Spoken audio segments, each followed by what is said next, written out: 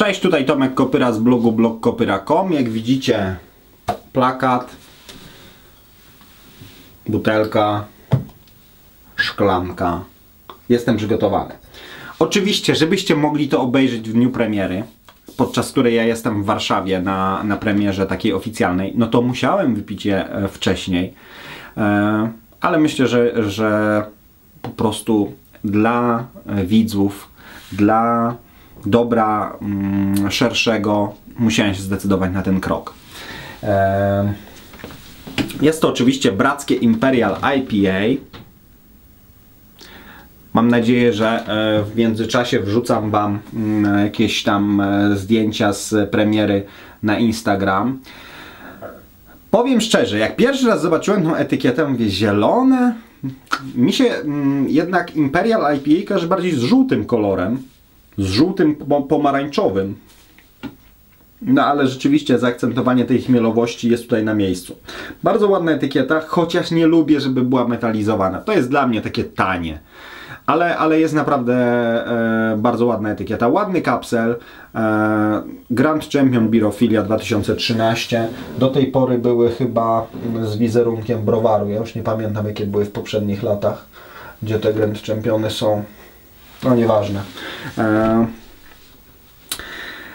Data przydatności rok czasu do 22 listopada. Myślę, że zniknie dużo szybciej. E, co my tutaj mamy? Ekstrakt 18,5%, alkohol 8,5%, e, czyli wysoko. Ja czytałem recepturę, tam jest użyty cukier, czyli to będzie takie, zakładam, że to będzie takie Imperial IPA, ale w stylu takim coś jak Firestone Walker, czyli wytrawne, kąsające goryczą. Ja wolę takie połączenie, kiedy to jest słodycz i gorycz. Wysok, wy, bardzo wysoka goryczka i spora słodowość, która równoważy tą goryczkę. E, jak sędziowaliśmy e, tę kategorię, a sędziowałem to piwo Czesława w finale, zresztą w eliminacjach też, e, to nie pamiętam akurat tego konkretnego piwa. Znaczy pamiętam, że to chyba było to piwo, co do którego wszyscy się zgodziliśmy, że jest ok, bo były takie piwa, których E, przy których ja mówiłem, że jest ok, ale nie wszyscy się zgadzali, albo mm, jedna osoba się zgadzała, a trzech sędziów się nie zgadzało. A były takie piwa, gdzie się zgadzało dwóch sędziów, ale ja się nie zgadzałem na przykład i jeszcze ktoś. I, i to od razu odbijało się na punktacji. No i i powiem Wam, że, że, że właśnie rozmawialiśmy, że, że ja wolę takie piwa, które są e, mocno, mocno słodowe, mocno taki likier, o, taki likier chmielowy. To jest dla mnie kwintesencja India Pale Ale, e, Imperiala. E, a co tutaj jeszcze mamy? E, woda, słód jęczmienny, słód pszeniczny, chmiel. Trochę słabo, że nie napisali pełnego składu słodów. A nie, są. Cztery słody. Pilzneński, pszeniczny, jasny, monachijski, kara gold. E, i przy tym piwie, i przy e, Grand Prix z Ciechana pojawiały się dyskusje, że co to za Imperial IPA ze słodu pilzneńskiego. No ale jeżeli Czesław tak ważył, jeżeli ma być ściśle odtworzona receptura, no to nie można tego zamienić na Pale Ale. Logiczne chyba, tak? Jeżeli Czesław uważał Imperial IPA Amer yy, i chmielił nowozelandzkimi chmielami, mimo że normalnie się chmieli amerykańskimi i wygrał, no to, to trzeba chmielić nowozelandzkimi. Ale chmiele są amerykańskie. Magnum, e, Zeus, Simco, Citra, Centennial, Atanum e, i Amarillo. Specjalnego szczepu drożdży. Nie wiadomo jaki to był ten szczep drożdży. Chyba w recepturze jest. Receptura jest na stronie festiwalu Birofilia, także możecie sobie otworzyć. Um, wiem, że cukier był użyty właśnie dla uzyskania takiej yy, dla zmniejszenia pełni, dla uzyskania takiej e, e, bardziej wytrawnego charakteru tego wirażu, bo nie było właśnie zaklejające, e, nie było słodkie mocno. Zobaczymy jak to wyszło. Kapsel bardzo ładny.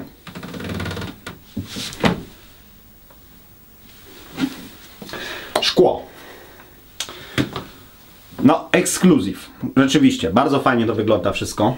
Tylko, że to jest, to nie jest dobre szkło do degustacji. No mówiłem Wam wiele razy. Shaker Shaker jest dlatego popularny w Stanach, że to jest najtańsze szkło. Często w ogóle bez żadnego brandu. Eee, to jest najtańsze szkło i oni w to leją wszystko. Kole, iced tea, soki, piwo. E, więc, ale ponieważ tu jest wyskalowane na 473 ml, czyli mm, pinta e, i tak naprawdę bardzo mało miejsca na pianę tutaj jest, ja naleję z większą, więc przygotowałem sobie drugie szkło jeszcze, do którego naleję też taką e, tyle gdzieś, żeby móc podegustować aromaty.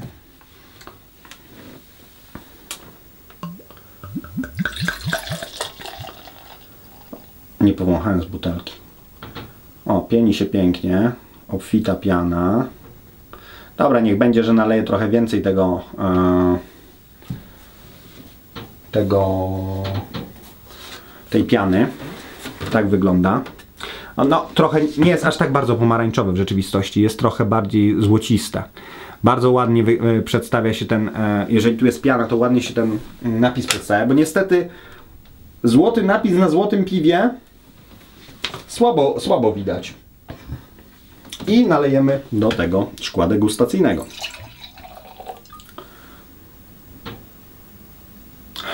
Jest aromat chmielowy. Hmm. Ale nie jest to jakieś takie buchnięcie tym chmielem. Dobre cytrusy, dobre mango. Dobra, i tutaj zobaczmy co. Zobaczmy, czy tutaj coś czuć. Dobre, do, do, dobry aromat chmielowy, ale taki.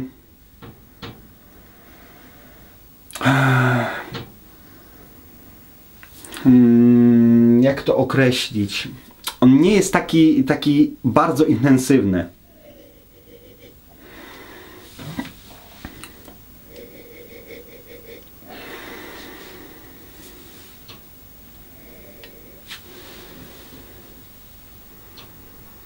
leciutki karton. Jednak.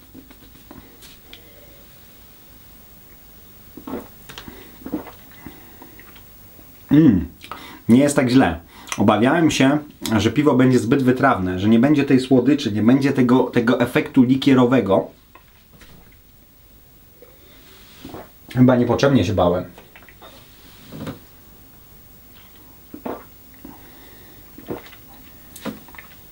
alkohol wyczuwalny. Mm.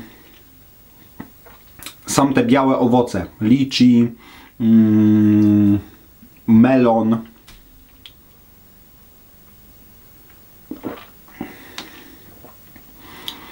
Mm. Mogłoby być trochę więcej tej goryczki. Goryczka jest, ale mogłoby jej być więcej.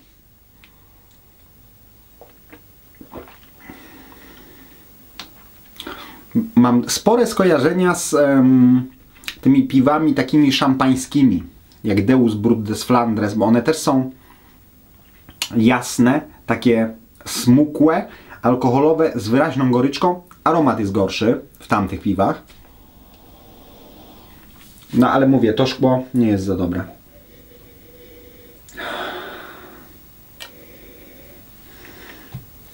Jest lekka nuta alkoholowa, troszkę taka nalewka na chmielu, ale to jest typowe dla Imperial IPA.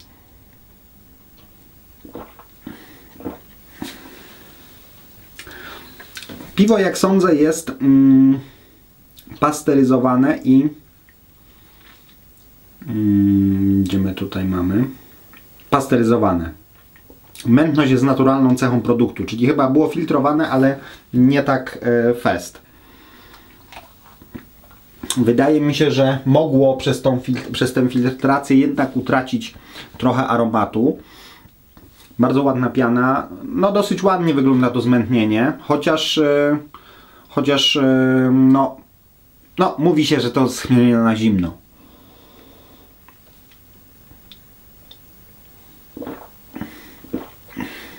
Najgorszy mankament tego piwa jest taki, że ono ma za dużo alkoholu.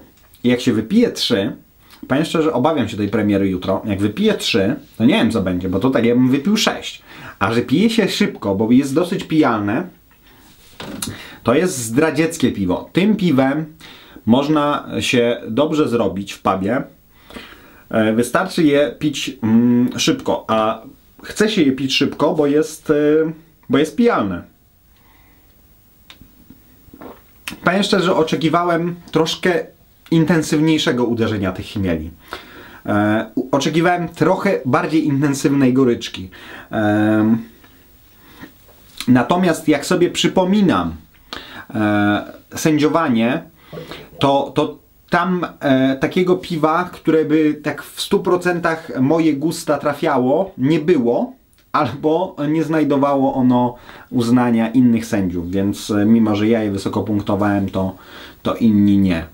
E, ale, ale mm, piwo jest na pewno e, świadczy o wysokim kunszcie Czesława. E, natomiast, e, natomiast mówię, ja wolę takie jeszcze bardziej likierowate te Imperial IPA. Ja bym po prostu zrobił 20 albo, albo powyżej 20 e, stopni plato, bo 18,5 to jest tylko o pół stopnia więcej niż 18, które jest górną granicą IPA. I jak na IPA, ono by było alkoholowe. Jak na Imperial IPA jest w normie ta alkoholowość, ale znowu to jest tylko 18,5, to nie jest 20, to nie jest 22, to nie jest chmiel w płynie jak, jak niektóre amerykańskie browary robią. Tam się dowala na maks alkohol, na maksa słód i na maksa goryczkę. I jeszcze oczywiście aromat. Wtedy ten aromat smakuje jakbyście pili nalewkę e, ziołową, taką na chmielu, albo taki likier e, gęsty, słodki, gorzki i mocno chmielowy. Tutaj tego nie ma, bo ono jest, ono jest tą, w tą wytrawną stronę. Natomiast oczywiście ta goryczka nie poraża tak jak w, w tym Firestone Walker w piwie, piwie Double Jack. Tam też piwo było wytrawne, nawet chyba bardziej wytrawne niż tu, ale potężna, przepotężna goryczka i e, bardzo taka no, obezwładniająca. Dla mnie była aż za mocna. E, tutaj tego nie ma. To piwo jest bardzo pijalne, jak na e, Imperial IPA. To nie jest piwo degustacyjne, wbrew pozorom. Ono się dobrze pije, tylko to jest akurat niedobrze. Bo jak się wypije takie trzy, a e, jestem w stanie sobie wyobrazić, że ktoś wypije sześć, to po sześciu to życzę zdrowia na drugi dzień. I życzę, żeby trafić do domu bezpiecznie. Wasze zdrowie e, pijcie odpowiedzialnie, bo to jest naprawdę zdradzieckie piwo. To jest takie, troszkę mogłoby się jakieś duvel nazywać, czy diabeł, czy inny, inny czort. Wasze zdrowie, zdrowie Czesława, no i wiecie, to jest piąty Grand Champion. To jest piąty Grand Champion. Narodziła się nam e, już 5 lat temu nowa świecka tradycja i ta tradycja się ciągnie. Pierwszy raz będę na premierze, więc e, śledźcie Instagram. Powinienem tam wrzucać do przepraszam, e, do którejś tam godziny te e, zdjęcia. Wasze zdrowie. Mam nadzieję, że nagram fajne wywiady z Czesławem, że nagram e, wywiady może z ludźmi, którzy odpowiadali za to, kto będzie, ale Myślę, że będzie fajnie.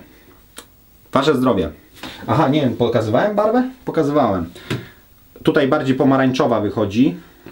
Ciemno, ciemno taka miedziana, a ona w rzeczywistości jest bardziej bursztynowa, jasno bursztynowa.